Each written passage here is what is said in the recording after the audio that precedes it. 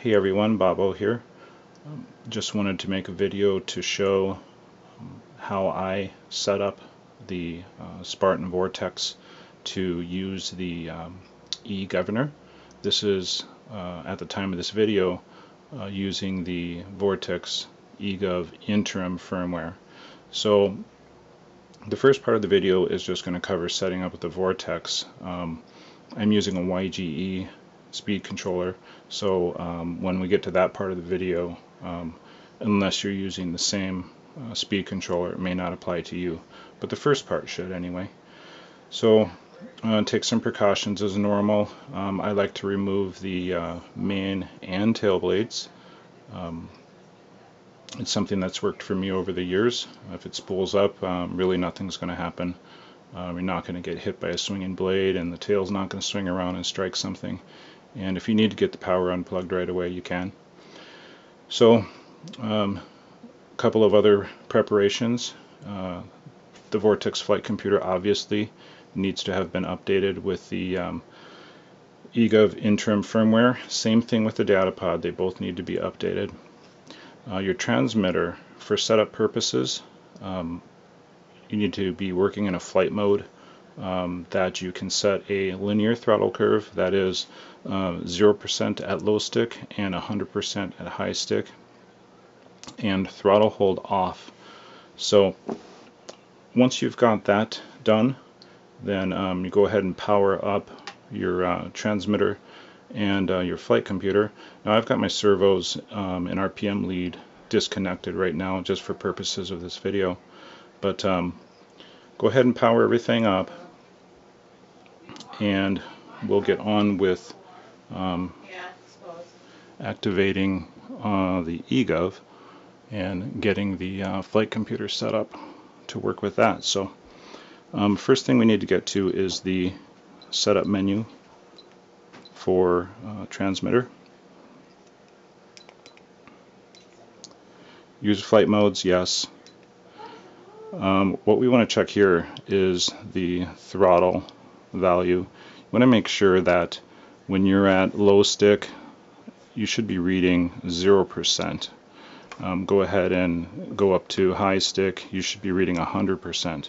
If you're not, you need to get into the travel adjust or endpoints menu of your transmitter and in the throttle channel, adjust those values so you get 100 and 0%. From here, um, get out of that. Um, go down into throttle, select it, servo type uh, ESC, select that, governor type electric, select that. Servo direction uh, defaults to normal, um, that is probably going to be okay um, in most if not all cases. Throttle max endpoint, if you need to make any endpoint uh, adjustments from here on out, they need to be done in this menu uh, in the DataPod, not in your transmitter, okay? So uh, defaults to 100. Um, that works for the YGE ESC. Leave it there for now. Throttle idle endpoint, same thing, it defaults to 100. We'll leave that there for now. It's asking for your gear ratio. This is for the main rotor. It's based upon um, on a heli like this, your uh, number of teeth on the main gear divided by the number of teeth on the pinion will give you your gear ratio. If you're not sure, go ahead and look it up uh, in your manual and um, or do the calculation yourself. Um, ask somebody and enter that here. On my heli, it's 6.66. So um, that is my entry. Go to the next screen. It's asking for the number of poles of your motor. This particular motor is 8 poles, so I entered that. So go ahead and uh, enter the number of poles in your motor and then press S. And from here, we're done with the throttle setup. So we'll go out of that, get into the Gov menu. In here, go down to Governor, and for normal mode, default is on, uh, but for purposes of setup, um, change it to off it doesn't matter right now if governor is on or off in one or two. Um, for me anyway, because I'm using normal mode for setup. whatever mode you're using in on your transmitter for, for doing setup, make sure that's set to off. Default for hold is off, so you can just leave that there. Go down to rotor RPM. I have 2550 set up for normal mode. Go ahead and set the RPM that you want the vortex to govern at for normal mode. Set it also for um, idle up 1. Do the same thing for idle up 2 and then set a value for hold as well even though it's not governing in hold um, go ahead and, and, enter a value in there that you feel uh, your heli is going to maintain um, let's say during an auto so come down even further um, gov gain hold the button down it will get into the advanced menu and we want to go down to advanced PID so when you initially get into this, um, your value is going to be zero. So in order to um, initialize the uh, default values, you need to press the plus and minus buttons at the same time. For P gain, same thing for I gain, D gain, feed forward, and then you're done. So go back up to next, and we'll get out of here and now we're at the uh, home screen. So from here, the Vortex flight computer is set up, but you'll notice that there is not an indicator for the uh, sensor on here. Um, that's because I don't have it plugged in. So what I'll do here is I've got a YGE 90 LV ESC. It's got a master and a slave lead. The master lead, of course, plugs into SV5, um, the slave lead um, carries power, but it also carries the uh, signal lead for the phase sensor. So I've got the slave lead plugged into my receiver on the other side. What I did was pull the slave, or I'm sorry, the signal lead from the slave connector and put it into its own connector. Now that gets plugged into the RPM port of the flight computer and it goes in with the signal lead towards the top like that.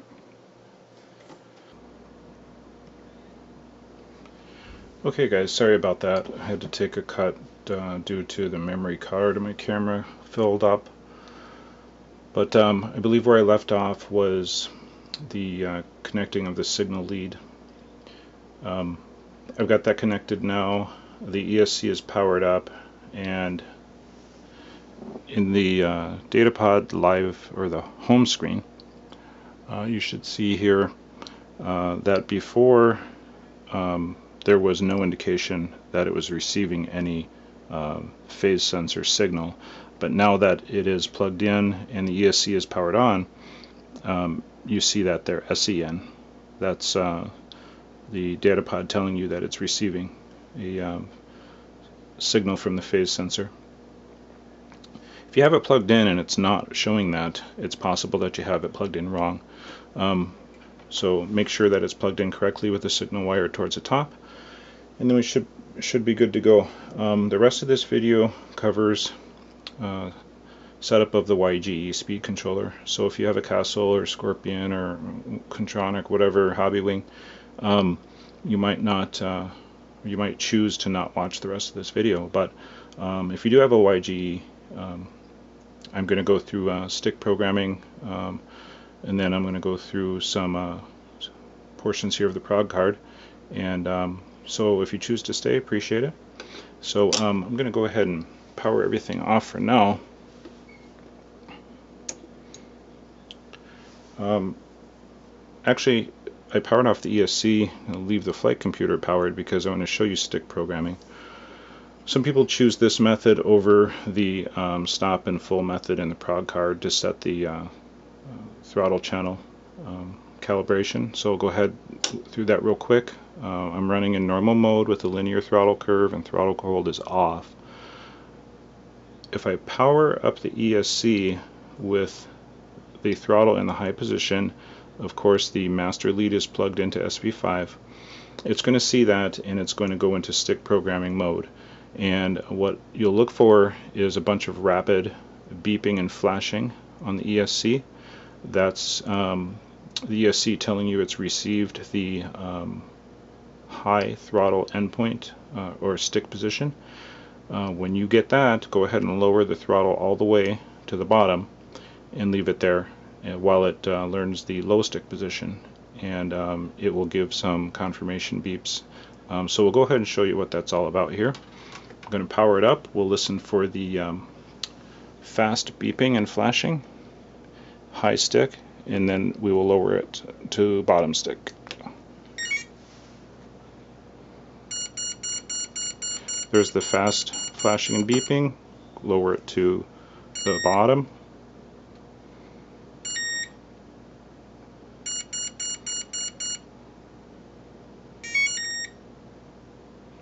And there's the confirmation and the uh, arming tone. So now the speed controller is live. But we want to go through and um, set up uh, the speed controller to work with the uh, external governing mode.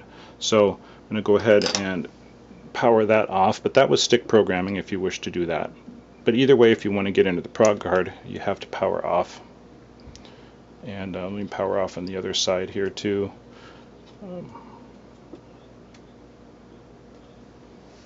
okay, to use the prog card, you need to plug in the um,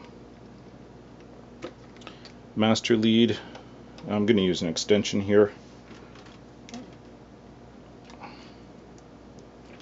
Make sure it's plugged in the right way. On the prog card it shows uh, that the brown wire goes in on one of the ends. If you're going to stay with the stick programming method, you do not need to plug anything here for the receiver side. But if you want to go with the um, um, throttle calibration from the uh, prog card, then we need to connect a lead into uh, SV5 and of course I'm going to fumble with it. And then connect that lead into the receiver. So we can do it that way. Alright, so once these are connected you can go ahead and power on the um, ESC and it, it will detect that the prog card is connected and it will um, go into programming mode. So we'll do that. You'll see this here. There.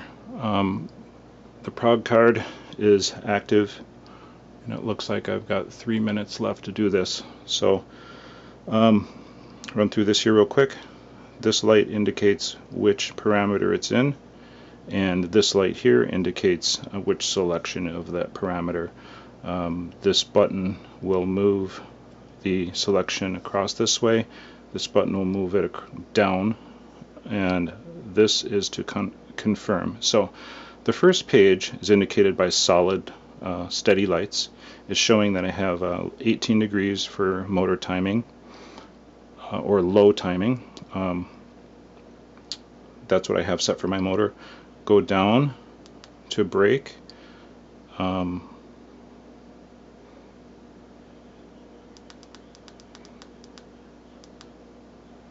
I don't know why it's set to smooth, but anyway, we want brake off. So we'll go brake off and we'll enter. Um, go down to uh, whatever type of um, cutoff you want. Um, I'm, I have LiPo and slow down selected go down to cutoff voltage, I have 3.1 volts selected. Number of cells, I've got a 6 cell setup, so I've got 6 selected. There's nothing showing for 10 or more cells. Special functions. If I want to do the throttle calibration here, I would need to go to stop and full. Stop means low throttle, 0%. So uh, if I want to do that, I come over with this button here, go to where it says stop, make sure I have low throttle and press enter. And then go right over to full speed and go up to high stick and press enter. So that's doing the throttle calibration through the prog card. So from this point, in order to get to the second page, and I've only got a minute and a half left here, you hold these two buttons down for like two or three seconds and then let go and you get this blinking and that tells you that you're on the second page. So from here what we need to do is go down to startup speed. We want to select heli middle, press enter. From here use this button to go back to governor and pick governor off and you select enter three times. That puts it in external governing mode. Then come down to startup speed again, go over to plane middle and press enter. And you hear that uh, melody, the confirmation tones, that it's in an external governing mode. Um, and it's best to start with heli middle and plane middle, and you can fine tune it from there. From here, you can go down and program the rest of it. Um, PWM, I have it set at 8 uh, just go ahead and press enter to confirm. Um, startup power. I have it set for 4%. Um, you can use auto or 2%, whatever you feel is best, but I have it set for 4. Works good for me. I'm going to go back up here and I'm going to um, select freewheel on and then um, P gain and I gain don't mean anything. And then when you get down here, you can press enter and it will show you what you have set. Gov off, freewheel on. If I come down, P gain and I gain don't matter. Um, it's set for heli middle. Um, I had it set for plane middle. There's no need to go back and redo it. PWM is 8 and startup power is for. So from here, all you do is power off the ESC. Alright guys, um, sorry that last segment ended abruptly, uh, ran out of memory again. But anyway, um, that's basically it. Um, you should be good to go. Um, the default settings in the Vortex um, are very nice, um, starting with heli middle and plane middle that'll easily get you into the air safely and with good performance. And uh, of course, you can um, adjust those parameters um, as you uh, need to to suit your particular helicopter and your power setup. And if you have any questions, of course, uh, go to helifreak.com, log in, uh, go to the Spartan RC uh, Vortex forum, uh, or you can go to the SpartanRC.com knowledge base. Um, there's a few different ways to uh, get assistance with uh, uh, your particular setup so we can get you in the air and um, get you enjoying the uh, eGov for the Spartan Vortex. I'll catch you guys later.